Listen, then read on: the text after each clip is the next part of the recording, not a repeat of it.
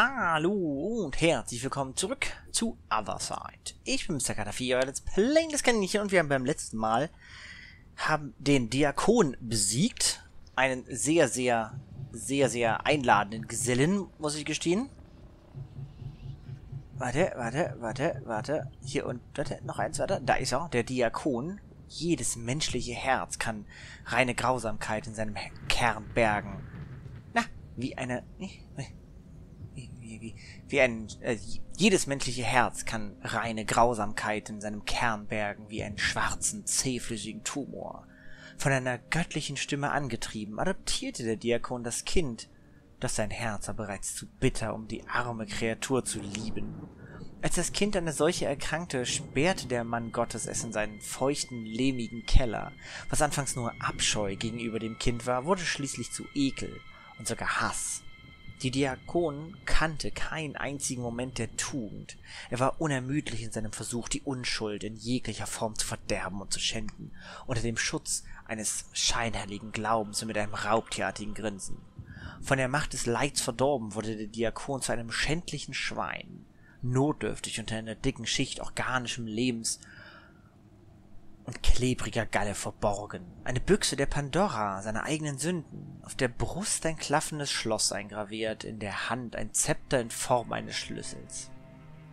Sehr einladend. Den haben wir besiegt und ich weiß nicht, wie wir es geschafft haben, weil wir haben uns wirklich schlecht angestellt. Wirklich. Also ich habe mich schlecht angestellt. Mit vielen, vielen dummen Handlungen, Sachen, die ich nicht gelesen habe, weil ich einfach zu überfordert war mit all dem. Ich habe halt von euch auch sehr gute Tipps bekommen, dass ich zum Beispiel wirklich jetzt viel mehr mit der, mit der, mit den Schutz, also es gibt ja mehrere, mit diesen Schutzfähigkeiten arbeiten muss, auch wenn sie Lebenspunkte kosten. Also, dass ich Munitionsabfang und ähnliches machen muss, um meine Töchter zu schützen. Es wird immer schlimmer. Und da muss ich einfach die Lebenspunkte ein bisschen opfern. Das werde ich versuchen umzusetzen. Ich habe auch noch ein paar andere sehr gute Tipps bekommen, dass man mehr mit den Seelenschützen arbeiten soll, weil die ziemlich mächtig sind und wir auch oder uns keinen sehr eigenen Schaden zufügen müssen. So muss man äh, können, so muss man das sagen. Also wir haben kein Friendly Fire. Das war eine Frage, die ich beim letzten Mal gestellt hatte, ob ich mich mit den AOE-Angriffen oder mit einer getränkten Klinge selbst verletzen kann. Und das habt ihr, hat Karana probiert und hat gesagt, nein, man kann sich nicht selbst verletzen. Was sehr nett ist. Und dann wollte ich noch zwei Dinge sagen. Und zwar zum einen, äh, wir sind in ja, Tag 15 Ära 3. Der nächste Boss steht. Ein besonderer Boss. Insoweit, dass ich äh, weiß, kein Spoiler, äh, ein kleiner Spoiler, aber ich weiß, es ist insoweit besonderer, weil bei diesem Boss können wir eine weitere Tochterklasse freischalten. Und das nächste ist, ich habe, wie ihr vielleicht seht, schon eine Synapse das war ähm, mehr ungewollt. Also ich habe die gespielt und aufgenommen und dann war leider ein technisches Problem aufgetreten und die Aufnahme war da nieder. Und ich kann leider nicht zurücknehmen, weil das Spiel speichert ja immer wieder. Ich habe ja nicht die Möglichkeit, in normalen Fällen würde ich einfach sagen, okay, scheiß drauf, kaputt, passt halt, mache ich nochmal. Geht hier nicht. Das heißt, das ist vorbei es ist nichts so Schlimmes passiert. Ihr habt also nichts so Großes verpasst in der Hinsicht. Was ihr verpasst habt, sind neue Gegnertypen. Die werden wir aber garantiert jetzt auch häufiger sehen. Ich möchte nur ganz kurz einmal zeigen, was wir an neuen Gegnertypen schon entdeckt haben. Was uns jetzt begegnen wird, und zwar der Seuchenprophet, der im Prinzip einfach eine Seuchenmetzger-Variante 2.0 ist. Die Fluchhexe, was ein Fluchpraktiker 2.0 ist, mit AOE-Angriffen und die Verwüster. Das sind die Aasfresser 2.0, die auch eine gemeine Fähigkeit haben. Sie können nämlich auf den Angriff eines anderen Gegners reagieren und zusätzlichen Schaden anrichten. Fantastisch. Wir haben zum Glück nämlich, also die Sache ist, ich habe nicht viel davon gesehen, weil wir, ich habe die, die, die stärkeren Töchter mit in den Kampf genommen, um die neuen Gegner entsprechend sehen zu können und nicht sofort Töchter drauf zu verlieren. Deswegen Lady Azuk, Lilith und Mrs. Cutterfee ist jetzt mit dabei als Seelenschützin. Ich habe eine der Seelenschützen, die auf unserem Friedhof waren, wieder. Es ist echt doof, als viel. Ich habe halt im Vorfeld noch so ein bisschen Sachen gemacht und naja, jedenfalls habe ich eine Seelenschützin wiederbelebt und ähm, Mrs. Cutterfee genannt. Das war ein Wunsch von DDM. Habe ich natürlich gemacht. Und sie hat gleich mitgekämpft. Lilith hat ein bisschen was auf, hat ein bisschen was abbekommen, wie ihr seht, aber sie ist halt ein Frontschwein und Lady Azuk und äh, Mrs. Cutterfield haben eigentlich nur Schaden bekommen. Lady Azuk hat einen Angriff abbekommen und die, ansonsten haben der, der ganze Schaden einfach durch Schutz, durch diese Schutzfähigkeiten entstanden. Nun ja, und dann habe ich noch eine weitere Seelenschützin äh, auskeimen lassen, und zwar Grace, damit ich die Möglichkeit habe, jetzt eine weitere Seelenschützin ein bisschen aufzuleveln. Also ich brauche sowieso mehr Seelenschützen, weil ich habe nur zwei jetzt. Das war so, so unumgänglich. Und ich möchte auch dann nach und nach noch mehr Seelenschützen, beziehungsweise mehr Töchter auskeimen, denn auch da habt ihr gesagt, man braucht mehr. Zum einen, weil wir haben ja schon einmal gesehen, dass es nur vier Synapsen-Tag gab. Was auch sehr spannend ist, dass die Tage und die Synapsen ja zufällig sind, aber es scheinbar so ist, dass irgendwie es eine bestimmte relativ feste Kombination für bestimmte Sachen gibt. Also auf einer Map spawnen in einer bestimmten Art von Mission immer genau die gleichen Gegner an der gleichen Stelle und solche Sachen. Also es ist ein sehr, sehr interessantes Random-System, was dahinter steckt. Und wir werden ja auch vielleicht nochmal eine Mission haben, wo wir vier Töchter wieder dabei haben. Deswegen müssen wir mal gucken, dass wir ein paar noch als Backup haben. Zur Not, um sie als, als Heilquelle zu nutzen. Wir machen eine anspruchsvolle Jagd mit Verwüster und garantiert auch dem Rest. Und da nehmen wir Desire, wir nehmen Grace und wir nehmen Melody zum Leveln. Ja, Melody zum Leveln. Das wird so schief gehen. Viel Erfolg, ihr drei. Und der, ich muss versuchen, dass Grace den Top-Schaden macht. Das wäre mein, mein Fokus so ein bisschen. Um ihr die Erinnerung, äh, Eigenart zu geben, dass sie aggressiv wird und damit 50 Schaden extra macht. Here the legions invaded and dragged this city into purgatory. Oh, interesting. Hier kam die hier raus aus diesem Schleimloch. Oh Gott, hier guck mal, die Aasfresser.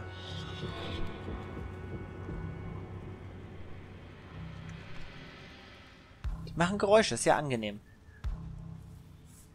Spider-Man! Und hier sind die neuen Gegner. Das sind die neuen Gegnertypen, da sehen wir sie gleich. Der Seuchenprophet kann sich normal bewegen, hat einen Basisangriff mit 1040 Schaden, 78 Rüstung, 2000 Lebenspunkte und als Fähigkeit umgeschmiedete Rüstung. Er kann seine Rüstung zwar nur für 20 Initiativeinheiten, aber 700 Rüstung erhöhen.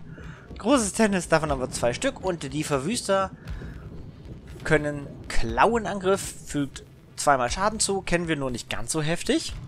Und kann diesen Vergeltungsangriff. Und das ist halt, wenn ein Gegner Schaden zufügt, kann er nochmal angreifen. So habe ich jedenfalls die Beschreibung jetzt gelesen. Interessant ist, er hat einen Ausweichenwert von 30%. Müssen wir auch darauf achten. Und ich finde, die sehen echt nicht schön aus. Also von Angriffsmustern sind sie genauso wie die anderen bisher, also wie, wie die Version 1.0 ihrer ihrer, ihrer, ja, ihrer, wie ihre Vorgänger. Das heißt, die Aasfresser greifen angeblich die, ähm, die Tochter, die am weitesten entfernt sind, an und die, ihr, die solchen Propheten greifen wie die solchen äh, Metzger entsprechend das nächste Ziel im Kampf an und solche Sachen. Gucken wir mal, wie es läuft. Wir können aber alle einmal vorher dran sein. Desire. Du kannst aber zum Beispiel gar keinen Schutz, gar keine Schutzangriffe. Du kannst nur dich selbst schützen, was völlig in Ordnung ist. Aber das könntest du nutzen. Aber wir müssen jetzt erstmal ran. Ist die Frage, gehen wir ran oder gehen wir weg? Das sind alles Nahkämpfe. Wir können die auch alle kommen lassen. Wir könnten die auch alle zu uns kommen lassen. Indem wir uns einfach mal hier hinten hinstellen. Außerhalb der Reichweite, außerhalb der Reichweite. So, jetzt aber die Sache, da, ihr seid noch nicht außerhalb der Reichweite von den beiden solchen Propheten, weil die wenigstens an die Kante gehen könnten. Deswegen gehst du mir nach hier und wartest ab.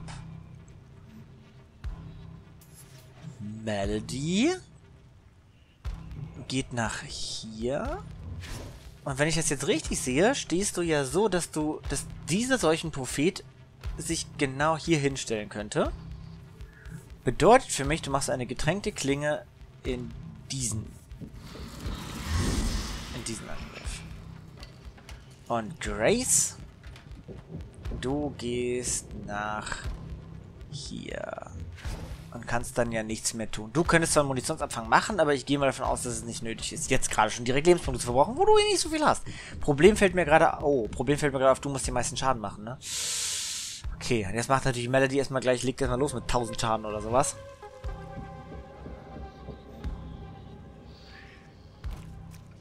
Schön ist, dass sie halt echt super verzögert werden. Seht das, die gehen auf, die sind immer auf Energie, auf, auf einem vollen Energieschub gleich. So, sehr schön, sehr schön, sehr schön. Desire. Du kannst wuchten. Du könntest jetzt, die Sache ist, ich würde, also das Problem ist, dass die gleich nochmal dran sind.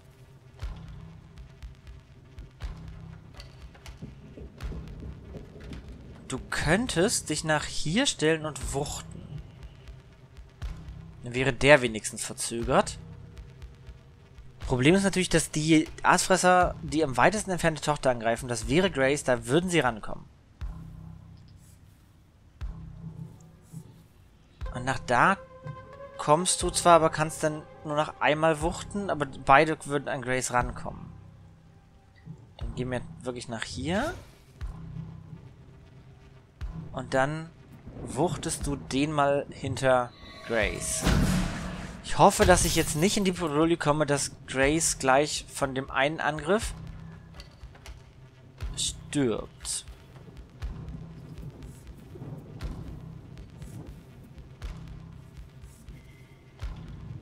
Wir schauen mal. Es kann sein, dass wir jetzt Grace gleich am Anfang verlieren.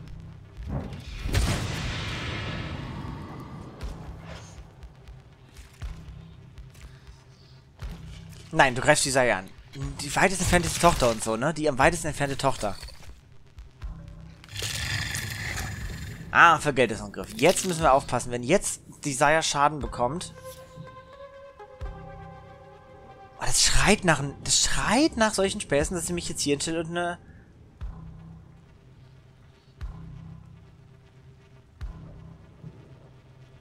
Eine ich könnte mich aber hier hinstellen und eine getränkte Klinge nach hier machen, ne?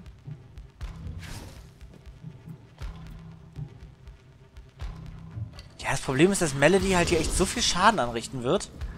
Da kommt Grace gar nicht hinterher.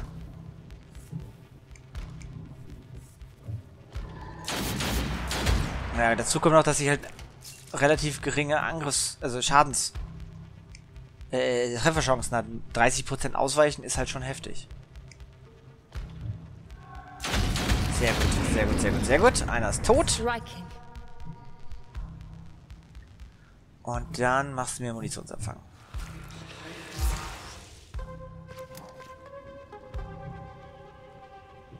Nur für den Fall. Desire, du wuchtest jetzt ein bisschen und zwar, mal gucken, du wuchtest auf jeden Fall ihn hier. Du müsstest ihn wuchten, damit er hinter dem hinter dem äh, äh, auf verzögerten Schlag kommt.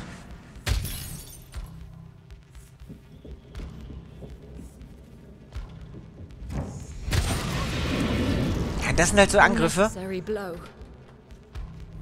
sind halt so Angriffe, da kann Grace halt ganz wenig... Oh, da oben kommen ganz, ganz viele. Ein Verwüster, ein Wurm und noch ein Verwüster. Und dann kommt noch, irgendwo kommt noch ein Gegner, wenn ich das richtig sehe. Okay. Bedeutet für mich folgendes, dass wir mal schauen, wie weit könnt ihr laufen. Dann gehen wir nämlich ein bisschen auf Distanz. Bei dem Wurm, der wird uns ja eher entgegendackeln. Und Melody wird sich jetzt ein bisschen zurückhalten. Du hast schon mehr als genügend Schaden angerichtet. Du warst schon sehr fleißig. Aber jetzt müsst Grace ein bisschen Schaden machen. Boah, das wird nie was. Die kommt nie auch nur ansatzweise auf den nötigen Schaden.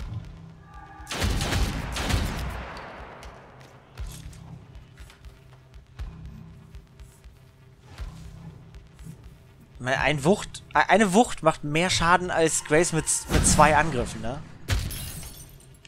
Mal kurz gucken. Okay. Ich versuch's natürlich trotzdem. Hallo.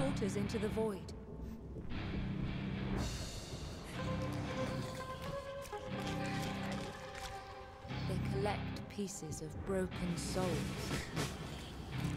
Seelenschützen sind auch wirklich, gerade so am Anfang, irgendwie gefühlt nicht dafür geeignet, viel Schaden anzurichten. Was bist du und warum kommst du? Was bist du, bitte? Können wir ganz kurz darüber reden, dass du 4000 Lebenspunkte hast, dass das eine anspruchsvolle Mission ist und in der die andere Jagd war schwierig. Warum kommt hier ein Jäger 2.0 mit 4000 Lebenspunkten, fügt dreimal Schaden zu, Andrang verursacht bis zu 550 verlangen wenn sie sich am Beginn ihrer Runde auf einem angrenzenden Feld wenn was? Wenn sie sich am Beginn ihrer Runde macht er das immer? Kann er das automatisch machen? Muss er darauf nicht reagieren? Schwenkende Glieder und Reflex unterbricht eine Tochter bei dem Versuch einen Nahkampf aus der... Wie bitte?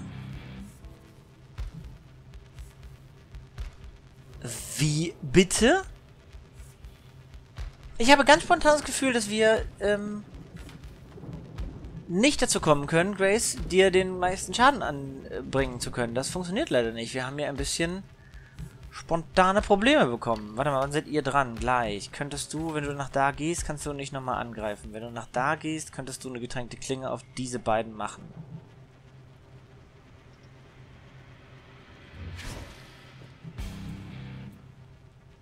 Machen wir eine Festsetzungshaltung. Um gegen die... Weil die werden in den Nahkampf hoffentlich ein bisschen gehen. Schauen wir mal, ob das funktioniert, wie ich mir das vorstelle.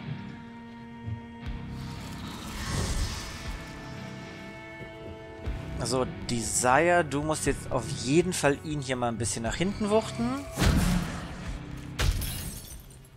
Und dann ihm hier auch noch Schaden zufügen.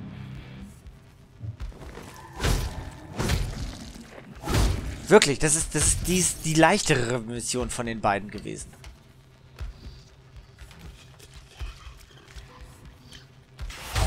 Fantastisch. Nicht so fantastisch.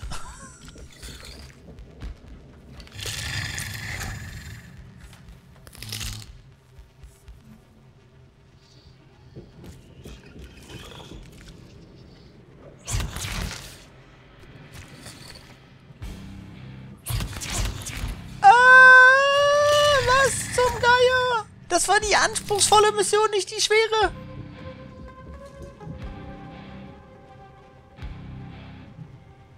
Passiert hier? Was passiert hier? Okay, wir müssen einmal einen Schuss machen und ihn weghauen. Was ist mit dem Wurm da gerade passiert? Warum war der einfach mal riesig? Wir müssen unbedingt einen Munitionsabfang machen. Oh mein Gott, Desire ist fast tot. No mercy.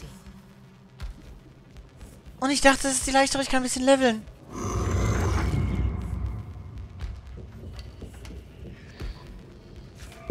Sehr gut, sehr gut, sehr gut, sehr gut. Sehr gut gemacht. Nein, und da ist sie tot.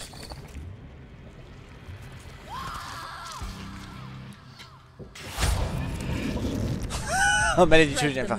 Jetzt haben wir ein Problem. Wir haben niemanden, der verzögern kann und der ist, der tötet uns alle. Will reap what suffering has sown.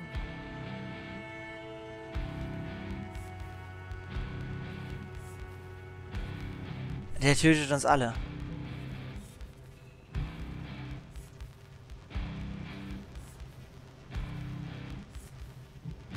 Ähm...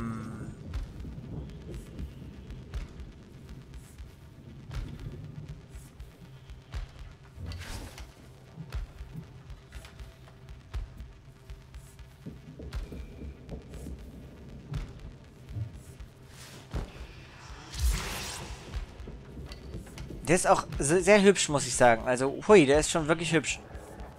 Das ist nicht fair. Das ist nicht fair.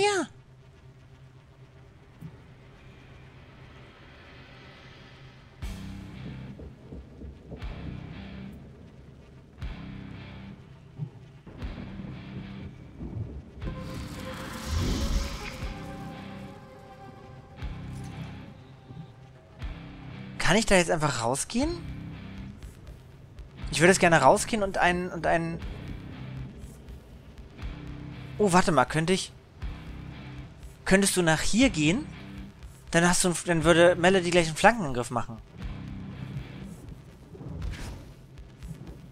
Wenn ich jetzt nämlich einen Schuss auf ihr ansetze, vielleicht...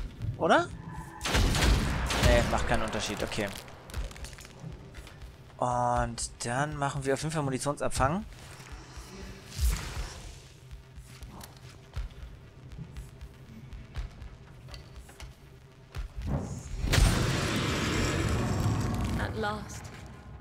It brings me no pleasure.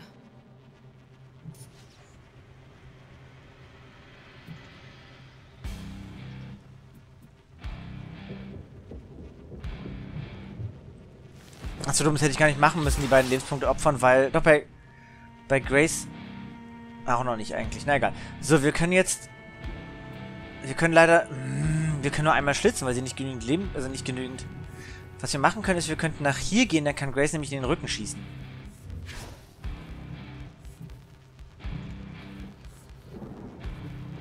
Wir könnten doch eigentlich eine, eine getränkte Klinge machen, dann machen wir auf jeden Fall mehr Schaden.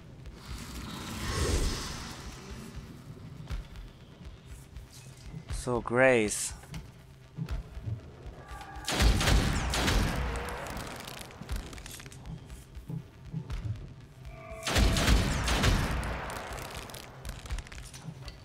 Und du machst auf jeden Fall wieder Munitionsabfang, auch wenn du dich ja gerade fast selbst tötest mit, aber geht nicht anders.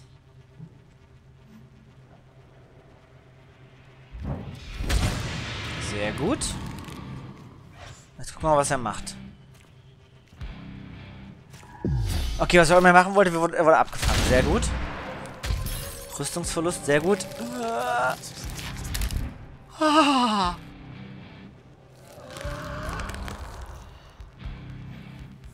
Kannst du bitte aufhören, was auch immer du machen wolltest? Was genau hast du da jetzt gemacht? Was war Reflex? Nur mal so aus Spaß.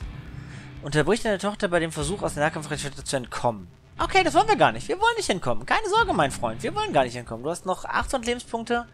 Wir wollen... Festsetzungshaltung hat nicht funktioniert. Das finde ich spannend, weil eigentlich müsste ja... Mein Gedanke war, damit ihr das vielleicht versteht, dass... Da steht ja, seine Bewegung in Nahkampfreichweite beendet. Ich hatte gehofft ein bisschen, dass dieses Bewegung als, also wieder ein Übersetzungsding ist und dass es da mehr sein Zug gemeint ist. Also, dass er, auch wenn er sich nicht bewegt, trotzdem ja in Nahkampfreichweite bleibt und damit den Schaden auslöst. Aber er muss sich aber wirklich bewegen. Ich hatte gehofft, ich, ne, es war jetzt mal wirklich so ein, ganz ehrlich, wenn der Typ angreift, ist es egal, ob sie 800 oder 1000 Lebenspunkte hat. Sie ist tot. Melody ist tot. Dann machen wir auf jeden Fall wieder eine getränkte Klinge. Mehr Schaden ist mehr gut. Und dann kann Grace nämlich noch versuchen, ein bisschen Schaden zu machen. Und, ähm... Melody hat aber auf jeden Fall das Backup. Wir werden jetzt mit Grace alles draufgeben. Sehr schön. Ah. Warum? Warum kommt bei einer anspruchsvollen Mission sowas? Oh, Desire, das tut mir so leid. Vor allen Dingen, das Schlimme ist, es klingt total böse, aber wir haben zu viele, im Verhältnis gesehen, haben wir zu viele Klingen und nicht genügend von den anderen. Jetzt haben wir nur noch ein Schild, aber immer noch drei Klingen. Aber beide haben eine Fähigkeit bekommen. Geil. Grace hat auf jeden Fall zwei Level abbekommen, Melody 1. Da kann sie auch nochmal eine neue Fähigkeit automatisch mitbekommen. Beide haben eine Fähigkeit bekommen, das ist ja schön. Though the danger passes, So, Grace, was hast du denn für eine Eigenart bekommen? Ach, gar keine Eigenart, nur eine Fähigkeit. Ich dachte eine Eigenart. Verdammt. Sie hat also, war weit. Ja, das Ding ist halt, ich konnte nicht mehr darauf Rücksicht nehmen, dass sie die meisten Schaden machen soll. Das war einfach nicht mehr möglich. Ist, ne, ich hatte extra eine anspruchsvolle Mission genommen in der Hoffnung, dass es okay ist. Dann kann ich mit mit dem Schild entsprechend genügend Wuchten zur Not und sowas, aber ich habe hier schon bei Sofortschuss ihr schon das mit dem extra Schaden gegeben, ne? Aber das hat halt einfach nicht gereicht. Okay, du brauchst... Ich würde gerne dann das machen. Schattenmunition.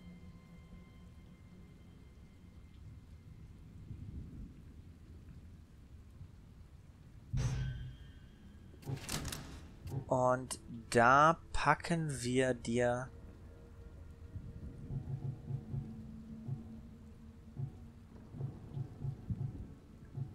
Widerstand möchte ich dir eigentlich gerade noch nicht geben, weil das ist so selten. Wir brauchen jetzt hier auf jeden Fall eh wieder Vita, um ein bisschen neue Schildtöchter, Schildträgerin auszubilden. Yay. Gut, und du hast auch eine neue Fähigkeit. Und Säuglingmeister. Ich liebe, ich bin ganz ehrlich, ich liebe Umgehungshaltung. Aber natürlich Empfangshaltung, äh, Umgehung finde ich super. Viel mehr Mobilität, aber Empfangshaltung ist ja natürlich auch nicht schlecht. Wenn man das gut koordiniert, kann das. Macht das hier, das ist. Mache ich das hier? Und hier habe ich halt eine sehr große Mobilität. Hier opfere ich Lebenspunkte, um aber in der Hoffnung mehr Schaden zu machen. Also möchte ich einen Flanker haben? Oder möchte ich jemanden haben, der schnetzelt? Welche Eigen... Hast du schon irgendeine Eigenart? Schaden plus 50. Ja, können wir machen, Empfangshaltung. Tut mir leid, tut mir leid, aber dann brauchst du auf jeden Fall bei Empfangshaltung... Ach, ich möchte irgendwas mit Rüstung. Ne, wir machen mal bei getränkte Klinge auf jeden Fall.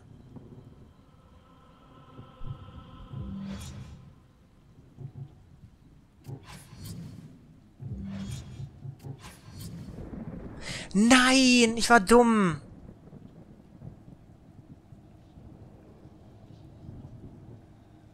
Dachte, das hier ist Festsetzungshaltung und nicht Empfangshaltung. Ich habe es nicht gelesen. Ich habe halt einfach nur Reichweite, Schaden im Endeffekt gelesen und habe gedacht, es ist das hier.